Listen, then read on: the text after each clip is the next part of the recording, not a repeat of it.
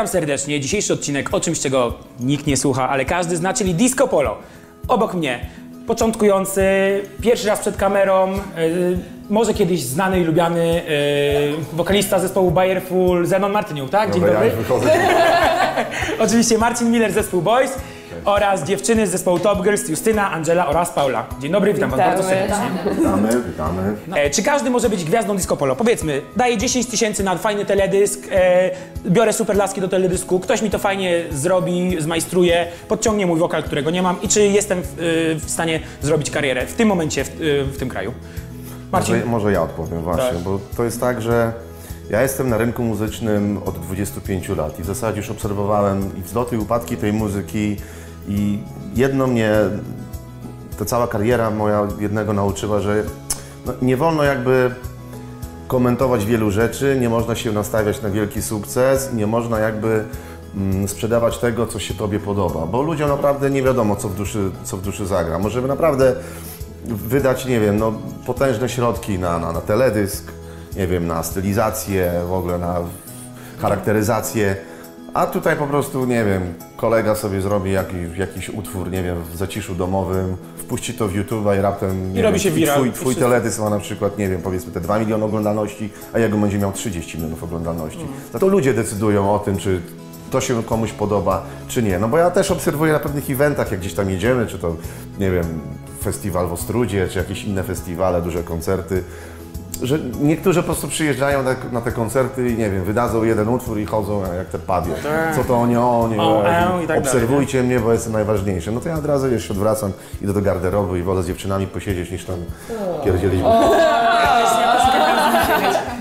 W naszej randomowej muzyce polskiej, nie mówię właśnie o disco polo, tylko tym, co leci w, w mainstreamie, w radiu, ktoś się jara, że ma na przykład 15, 15 milionów na YouTubie, to jest super. W disco polo to jest nic. No to może nie nic, ale to nie jest jakoś tak ekstra super. I to właśnie też moim zdaniem świadczy trochę o tym kraju, że, że ta muzyka jest spychana na boczny tor, jest niedoceniana, a przecież wszyscy tego słuchają. Większość tego słucha. No to jest fenomen, nawet dając przykład, nasze mleczko ma niedługo 30 milionów, no to halo, polska populacja. Całe 40. No, no, halo. A dziś to ona jeździ twoim samochodem Ścieli przynosi ciepłe mleczko A ja naiwna dostałam dzisiaj swą nagrodę Muszę zacząć obserwować tego YouTube'a. Naprawdę No, może- 30? Tak. Ale ty też masz sporo. Pod tymi innymi ostatnio obczajałam. Ale wiecie co, teraz moim zdaniem też jest taka zależność, że im jest nowsza nuta, tym ona będzie szybciej zyskiwała popularność. No na przykład Szalona już nie będzie miała nigdy tylu wyświetleń, no bo ona nie miała tego swojego piku w, w latach, kiedy był YouTube, nie? Jesteś szalona, mówię ci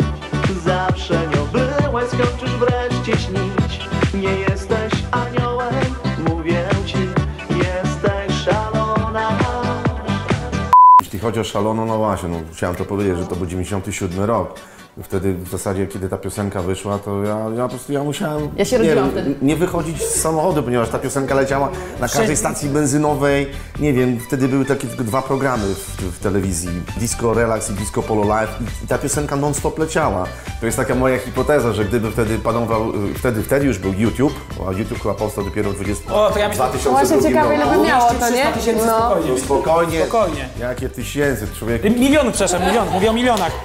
Powiem ci więcej. Milionach. Gangnam Style to mógłbym normalnie 30 śpiewać na piosenkę. Despacito już Parę miliardów to było. To był jeszcze większy hit na bank niż, niż Ona tańczy dla mnie albo... No A ona tańczy dla mnie ile ma? pewno. Bo już nie... No, ona tań, około 100, tysięcy, 100 milionów. Wow. Jeżeli już, a jeżeli mówimy o Ona tańczy dla mnie, to też trzeba wspomnieć tutaj zespole Weekend, ponieważ ja z dumą opowiadam o swoich znajomych, czyli ja nie lubię siebie wywyższać, gloryfikować. No właśnie to też zauważyłem. Tak, To bo, jest fajne bo je- jesteśmy, jedziemy na tym samym wózku i nie wolno jakby, wiesz, no za przeproszeniem strać w swoje gniazdo, No prawda? tak, no kopać pod kimś dołków, jak jesteście I bardzo fajne było to, że wiesz, no był taki, wiesz, taka jakby, to się nazywa, no wiesz, taka mm, Disco równia pochyła po tak, prostu, wiesz, w schodziło. zes- w zespole, bo że no, ja, ja też miałem, byłem wypalony tam po, po 2000 tam którymś roku po prostu jakoś nic mi się nie układało.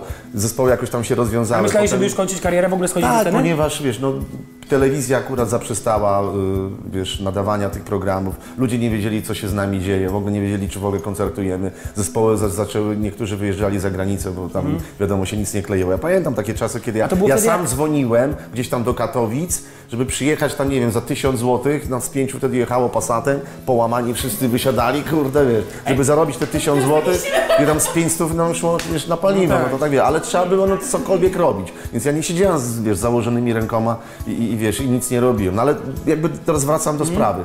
Fajne było to, że właśnie piosenka Ona tańczy dla mnie spowodowała takie ponowne renesans zainteresowanie polo, medialne właśnie e, muzyką disco polo. I tu nie wolno, wiesz, jakby, wiesz, ja trochę mi to faktycznie bolało, że jednak no tu weekend będzie teraz, wiesz, numer jeden i tak dalej. No wiadomo, że jakiś tam gól chodził, ale potem pomyślałem sobie, kurde blade, no przecież jedziemy wszyscy na tym samym wózku. Jak on będzie miał dobrze, to wszyscy będziemy mieli dobrze.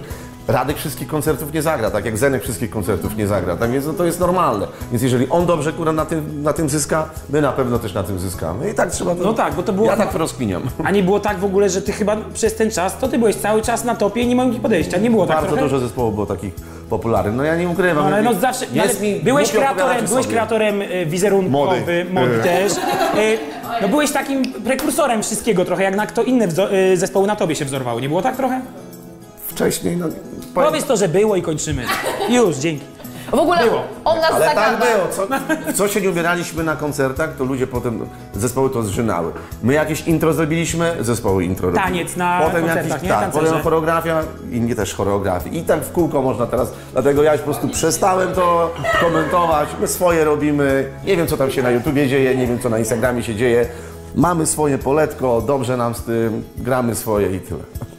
A wy dziewczyny, jak y, słyszycie nazwisko Marcin Miller, to co sobie myślicie? Jakie skojarzenia? Tatuś! Ale strasznie, właśnie dużo ludzi, i tak, y, Pawlo z y, Afterparty mówi do ciebie ojciec chrzestny. No One mówią ojciec chrzestny. Co ty im tam wszystkim, kurde, My mówimy ojcze, nawet nie chrzestny. jak to klękają w ogóle przed tobą? to on. O, ten twój przyjaciel, sławny na całą branżę. To się wytnie. No i on, oczywiście. To się wytnie. Y, no to ten, y, ten, Ale no, to ten, ten drugi Miller z czym wam się kojarzy? Ten jego przyjaciel. Nie żartuję, Nie, ten pierwszy, no. ten pierwszy, Marcin. Ja pamiętam za młodu, to widziałam właśnie kasety z twoim zdjęciem. Ja bym w życiu sobie nie wyobraziła, że my nawet duet stworzymy, że ja będę disco polo śpiewać że zaśpiewam z tobą I piosenkę. miałeś takiego radyjka z takimi czterema przyciskami, do którego tylko można było włożyć kasetę i śpiewać sobie boysów na takim sztucznym plastikowym mikrofonie? Jaki mikrofon? nie śpiewałam o takim mikrofonie. Miałam taki mikrofon, który takie echo robił, jak w niego się śpiewało. I tak radyjko, trzy przyciski, tylko jedna kaseta. Ojca krem do golenia i śpiewałem. Odwracałem go i tam śpiewałem przed lustrem. Właśnie, co przed lustrem sobie śpiewałeś? Jak byłeś 90... macho. Ja jest... Mi kobiety nie wybaczą. A wy dziewczyny co sobie przed lustrem śpiewacie albo pod prysznicem? Pod prysznicem? A co ty już? Widełko fa. Na przykład podczas jazdy i podczas sprzątania bardzo często y, słuchamy właśnie Marcina piosenki. Jedziemy, śpiewamy. Wysyłają. Możemy zaśpiewać, mamy swoją Nawet wersję. wysyłają mi to jest fajne. To jest też fajne, zobaczcie, że, że niektóre, niektóre zespoły po prostu, wiesz, no, czujemy się na tyle takimi przyjaciółmi, jest takie fajne zgrane towarzystwo, że one mi wysyłają tam filmik, wiesz, stracę, jak one tam śpiewają. Ja tak sobie jadę, kurde, jakie to jest przyjemne, jakie to No jest ja miłe, wiem, przecież wiesz. pamiętam jak nawet y, w wakacje przychodzą Freaky Boysi, a Marcin od razu do białego rana. Do białego rana, aj, aj, aj Chcę pić z tobą szampana, Proroczy tekst. No to my idziemy na szampana A wysegrować. my właśnie wróciliśmy ze wspólnej trasy po Wielkiej Brytanii. Do Białego Rana było. Były Freaky Boysi, widziałem Marcina, też widziałem na waszym snapie. Yy, kto tam jeszcze był? A, Weekend też był, nie? Ale- Tak, Radzę też był właśnie. No, to Fajnie było. Bardzo ciekawa trasa, dobrze przygotowana. Do dziewczyn pytanie. Co, czy ma, miałyście czasem taką sytuację, że przychodzicie, widzicie garderobę, widzicie scenę, widzicie organizację i mówicie ale wychodzę. Nie gra. No, czasami, czasami jest tak, że popatrzymy się na siebie i ja pierdolę, nie? Ale, no ale Ja te, to się wytnie. Będzie pi. no, no, tak, tak. nie, ale jest tak, jest tak czasami, no ale... Ale zdarzyło wam się, że nie zagrałyście kiedyś? Bo Tak, no tak, pierwszy raz. piątek. Pierwszy raz. A, tak. Ogółem, wiesz, my nie jedziemy, y, nie wiem, żeby patrzeć, czy klub jest fajny, czy jest garderoba fa- fajna, tylko po prostu my jedziemy tam do ludzi, tak? No tak. Dla nich. Te czasy dawno minęły takiej zabawy, kiedy ja się, wiesz, kiedy grało gdzieś tam, nie wiem, Rydzewo i tak dalej, chociaż w Rydzewie to fajne też imprezy były, to moje miejscowości są. Powiedzmy tam, zajeżdża, Pozdrawiamy Rydzewo. zajeżdżamy na imprezę i tam, nie wiem, godzina już 12, czy tam pierwsza w nocy, idziemy na kolację. Siadamy w takiej zimnej kanciapie, a organizator mówi tam jeden, nie wiem, ze strażaków, mówi, ty, no co, pienie, pieniędzy dostaliście, wodę tu macie, a, a, a zakąskę to idźcie sobie, kurde, tam y, Za winkiel, do chałupy, kurde, i sobie kupcie. No tak. Ja tak, uuu, Pojedzone. No czasy tak. też były, no. Były takie czasy, ale właśnie e, nawiązując trochę do tych czasów. Kiedyś powiedziałeś Marcin coś takiego, że, że kiedyś grałeś No tak. 8 godzin, A jechało się godzinę. a jechało się godzinę, A tak. teraz- A teraz odwrotnie, że jedziesz 8 godzin, żeby zagrać godzinę. I to czy nie tęsknisz za tymi, właśnie, nie tęsknisz za tymi czasami i czy wy dziewczyny też nie tęsknicie za, za takimi czasami, no bo jesteście już mega rozpoznawalne w branży i jesteście już gdzieś tam bardzo wysoko, Od razu powiem tylko szybko ja, Tak, że mów. to jest tak. Ja mile wspominam tamte czasy. To, to były początki, kiedy Marcin Miller nie w naj, nie wiem, naj, najpiękniejszych Pracował w urzędzie. snach po prostu. Pracował jeszcze w Ale urzędzie. nie, w najpiękniejszych snach nawet nie, nie spodziewał się, że będzie udzielał wywiadu, będzie koncertował. Że przyjdzie będzie tutaj stał do na- mnie. To już będą jest trasy koniec, to już jest koncertowe. spełnienie i marzeń Marcina. No właśnie, te takie różne rzeczy. Zatem Kochana,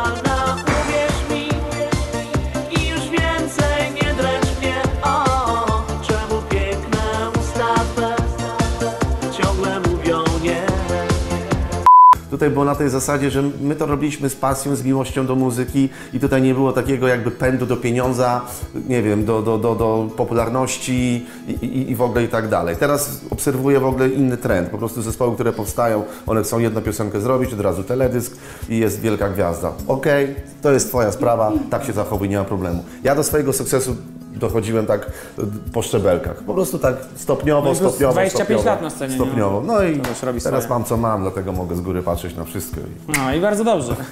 czy, czy nie tęsknicie za tym czasem, jak byłyście e, nikomu nieznanymi, szarymi dziewczynkami, które jeszcze nie, nie miały zespołu Top Girls, które jak wychodziły na miasto, nikt je nie, nie poznawał, które nie miały tłumów na koncertach i tak dalej, i tak dalej. Czy fajnie jest teraz, czy fajniej było wtedy? Wiem, że fajnie jest teraz, ale... Powiem Ci, że mi na przykład brakuje mojej ekipy, z którą śpiewałam 8 lat po weselach. Ja też, właśnie jedze- też jedzenia tak, z wesela. Wszystko stopniowo, stopniowo.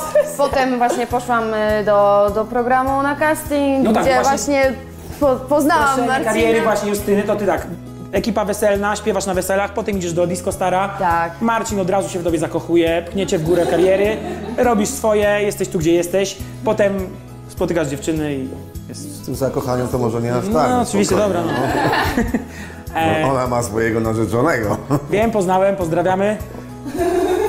Wtedy nie miała. Wtedy, nie, wtedy jak jechaliśmy do u nas się zmienia troszkę jakoś tak. Jak U nas, się, u nas się wszystko zmienia. no, ale nie wchodźmy w szczegóły, która teraz robi sytuację. Jakby co jestem woła. jak to jesteś wolna już? No i czego było gadać? To na cholerę mi to teraz Zanim mówisz, to ty- wyjdzie, to pewnie będzie w związku już, pewnie wrócić. Chyba radzieckim.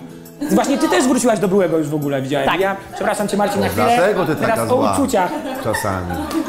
A ty co tak buzię rozdziabłaś? Ty jesteś wolna czy nie? Bo ona lubi... O nie! Pomarańcze? Ona lubi pomarańcze. Skończyliśmy na tym, że Paula lubi nie pomarańcze, a banany. Tak? E, Kto dobra. to powiedział? Właśnie. Y, ja to wyczytałem z ruchu twoich warg. Taki bardzo ogrodniczy ten program. Tak. Bę- Będziemy zaraz wyrywać chwasty. Sadownictwo, ogrodnictwo. Tak jest. Florystyka, dokładnie tak. Yy, powiedzcie mi jeszcze dziewczyny jedno, yy, jedna rzecz, bo to mnie z- zadziwia. Logistyka u was. Ty jesteś z Rzeszowa, ty jesteś z Działdowa. Ja ty jestem z jesteś Rzeszowa, ona- A, no. Ja jestem z tego. A, Białystok, no tak, Rzeszowa. Białystok, Rzeszów i Działdowo i Gdańsk jeszcze. Gdańska. Powiem tak, u, mnie jest już kurę masakra, no bo tak, tam dwóch chłopaków, to co, ja jestem z Ełku, kolega jest z Ełku, dwóch jest z Łomży i jeden jest z Warszawy. I już jest tak, no trochę ciężko.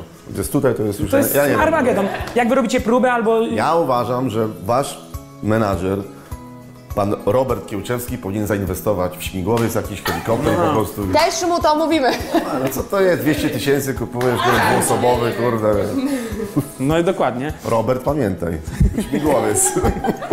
Robert, pamiętaj, ma być śmigłowiec. Obserwuję cię. Tak jest, ja też i moi ludzie również. E, jak jechaliśmy do Gdańska z? Justyną, to 50 zł mi dołożyła do prawa. To było moje piękny.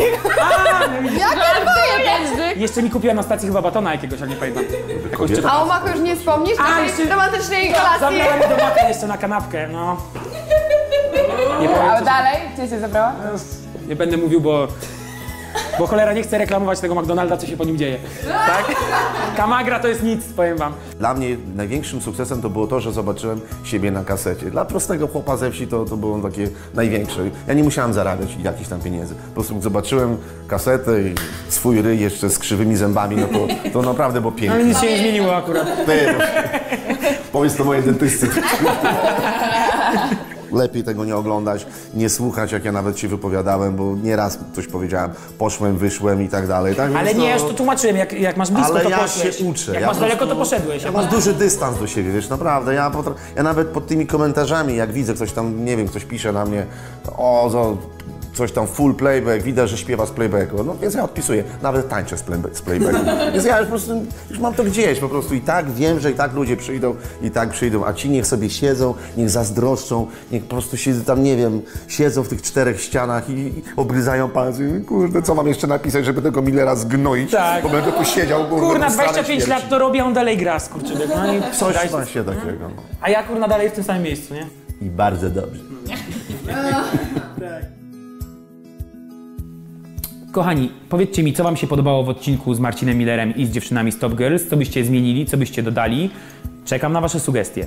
Dziękujemy serdecznie naszym partnerom, firmie Rentcam oraz firmie Orfi. Firma Orfi dała y, gadżety dla gości, polecamy serdecznie tą firmę, oraz firma Rentcam dała nam mikroporty, żeby było nas dobrze słychać. Dziękujemy również e, Fortowi Piątek za współpracę i za wszystko, co dla nas robią. Halo, tutaj. O nie, nie, nie, nie, nie. Ani mieszkasz, dawno. Tutaj nie.